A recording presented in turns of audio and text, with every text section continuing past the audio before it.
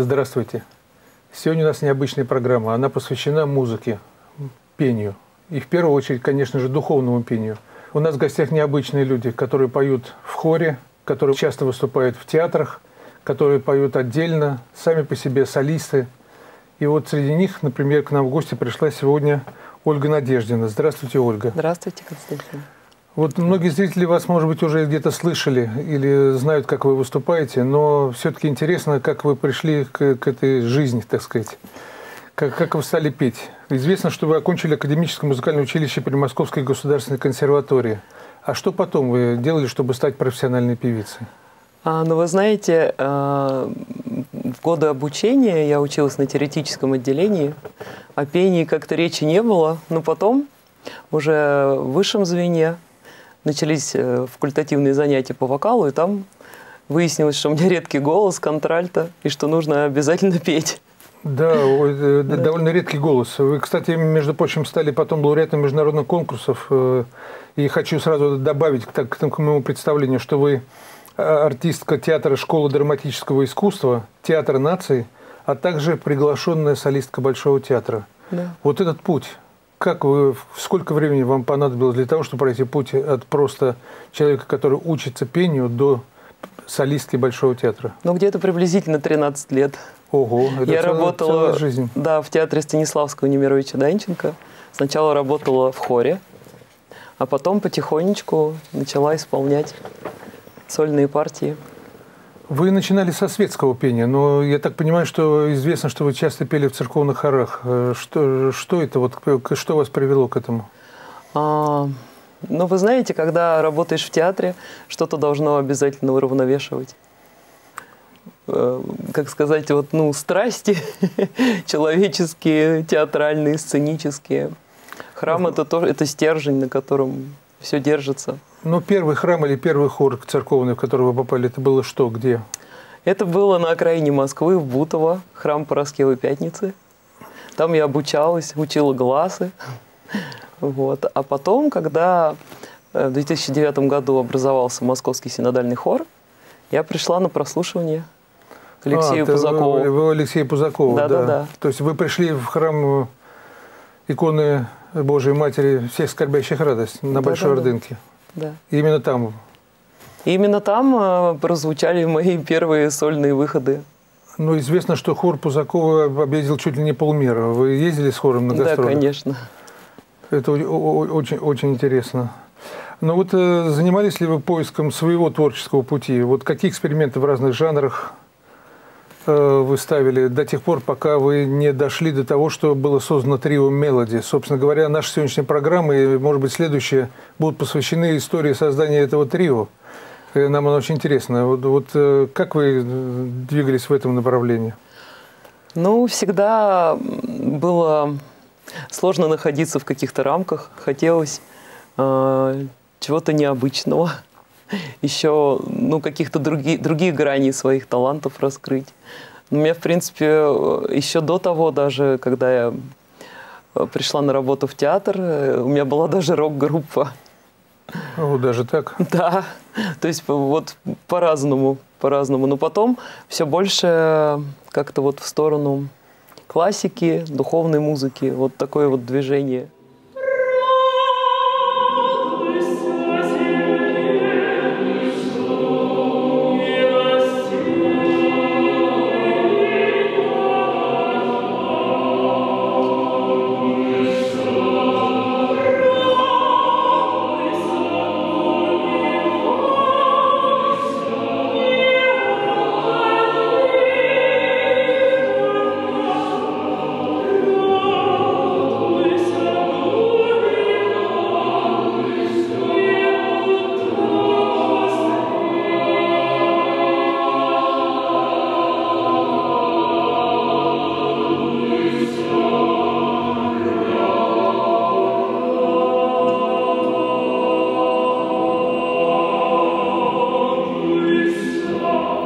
вот было создано трио. Самое интересное, что трио «Мелоди», так сказать, известно, что туда входите вы, Ольга Надеждина, Светлана Полянская, а вот третий А участник трио, нас- постоянно менялся. Да, да, да. И меняется, наверное, до сих пор. Почему? Почему вы никак не можете найти себе какого-то человека, который был с вами постоянно? Ну, вы знаете, потому что очень сложно найти человека, который готов э, работать в разных жанрах, постоянно менять свою манеру пения, постоянно пристраиваться, очень быстро учить музыку и тексты. Насколько мне известно, даже однажды вы выступали в составе, когда третьим был мужской голос. Да, такое тоже было. Такой тоже был, да? Да. А сейчас есть у вас постоянный участник трио? Да, сейчас у нас есть Татьяна Кокарева. Она с нами сейчас постоянно. То есть, насколько я понимаю, у вас э, лирическая сопрано, контр-альто и... И, ну, у Татьяны такой голос между высоким меццо и сопрано. э, то есть, как бы специально вы не ищете какой-то специальный голос? Нет, третьим? мы ищем специальный, Именно чтобы он был меццо-сопрано. посерединке А, между вот. нами, между контральто и сопрано. Замечательно. В нашей программе также принимает участие Светлана Полянская. Она является лауреатом всероссийских и международных конкурсов, приглашенной солисткой Вивальди оркестра, капеллы имени Юрлова и ансамбля духовной музыки «Благовест». Здравствуйте, Светлана. Здравствуйте, очень приятно. Ваш путь тоже начинался необычно. Вы окончили Государственный музыкально-педагогический институт имени Ипполитова Иванова. Это на Марсийской улице в Москве. Да, два факультета. Сначала дирижерский, потом вокальный. О, и почему вы решили после дирижера пойти на вокальный? А это было не после, это было во время. А, одновременно. Одновременно практически. И дело в том, что я с 15 лет начала петь в храме. И когда я пришла петь в храм, в в храм Варехова-Борисова, Троицы в Борисово. О, И меня взяли туда под крыло. Прекрасная регент Ирина Тараканова научила меня всему, чему только возможно. И в этот момент я работала с профессионалами, которые были намного старше меня. И мне все время все говорили, ну надо заниматься вокалом. Даже для того, чтобы петь в церковном хоре, нужно осваивать эту профессию. Мгм. И вот я лила слезы, думала, что мне все говорили, что у тебя нет голоса, что ты не можешь ничего петь. Вот. И я думала, что нет, я все-таки могу, я все-таки буду. Занималась на дирижерском, параллельно вокально. а, Стала заниматься с педагогом. И через какое-то время э, это было удивительно для тех людей, которые говорили, что э, это невозможно, они удивлялись, ну как же тако- та- возможно такое, что ты вот стала таким профессионалом. Но я могу сказать, что нет ничего невозможного. Если человек очень хочет, стремится к этому, работает, то возможно все.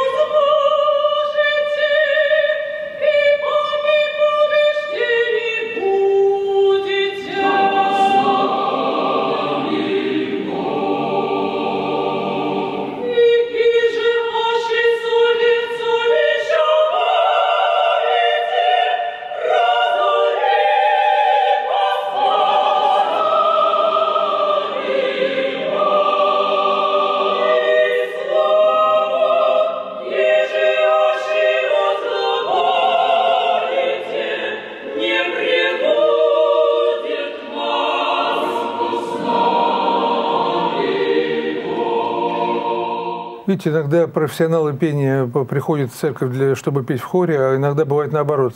Да, Кто-то выходит из церковного хора и становится хорошим профессионалом. Да, и вы знаете, вот у нас была встреча, конечно, я очень была наслышана об Алексее Пузакове еще, когда я только начала петь, вот я была еще юной совсем, и я знала, что у Алексея Александровича есть коллектив, они тогда много дисков записывали, э, храм Никола в Кузнецах, это просто для меня был легендарный коллектив, я об- этом очень много слышала. И так получилось, что э, мы с Алексеем Александровичем сотрудничаем, наверное, лет 25 уже. Вот я даже уже мгм, боюсь даже вспомнить, когда э, мы познакомились. Алексей Александрович говорит, что он меня услышал на конкурсе, когда я пела травиату на, на Белла Вочи. Но познакомились мы чуть позже. Он уже меня тогда как-то э, выделил из общей м, массы людей. И потом, когда мы с ним встретились, он мне об этом рассказал, что я вот тебя сначала видел вот в тако- на конкурсе. Ну, вот на этом конкурсе было в Очи Да. в России. Вы заняли первое место вообще-то. Да, это было для меня Это так удивительно. Первая премия. Да, да, да, это было. Но это было так уже давно. прошлой Ну, жизни. да, много ли давно, но все равно, так сказать, э, Романсиада Россия, э, конкурс имени Дворшика Чехия, имени Даркли Румыния и так далее. Вы знаете, сказать. приходилось все время доказывать. Вот я когда училась, мне приходилось все время доказывать э, кому-то что-то, что вот нет, ну у меня все-таки есть голос, что вот э, люди, международное жюри оценивает. И как-то все время э, через тернии мы шли э, к, к к звездам, можно так сказать. Ну нет, не к звездам. Вот. Но всегда в моей жизни присутствовал церковный хор. И вот наша встреча с Алексеем Александровичем, сотрудничество очень плодотворное. Алексей Александрович э, в моей жизни сыграл огромную роль. А, Он тоже меня первый поверил и говорил, и говорил, что вот, Светлана, я, я вот предлагаю вам петь а, партию сопрано в страстях по Матфею. И это было очень интересно, потому что я говорю, Алексей Александрович, я не смогу. И вот он все равно, он говорил, нет, Светлана, я вас верю. И действительно, эти концерты потом э, транслировались и были в записи. И вот ему спасибо большое, что он тоже первый поверил, э, вот, например, в меня. И я знаю, что такая же история у Ольги. Потому что Да, когда да, да, Ольга да. пришла работать э, к Алексею Александровичу, и Алексей Александрович тоже, э, вот его вера в нас, как солисток, это, ну, это же было очень давно, это же когда мы все-таки были Давайте очень молодые. послушаем. Да, а с Алексеем Александровичем я хотела сказать, что мы- Давайте послушаем, что. а мы пос- послушаем, вот у нас есть запись э, Свиридова «Любовь святая». Это, наверное, то произведение, которое я больше всего пела с хором Алексея Александровича. А, э, оно не на духовный текст, но вот э, Георгий Свиридов написал это вот, наверное, какой-то крик души или вот что-то такое.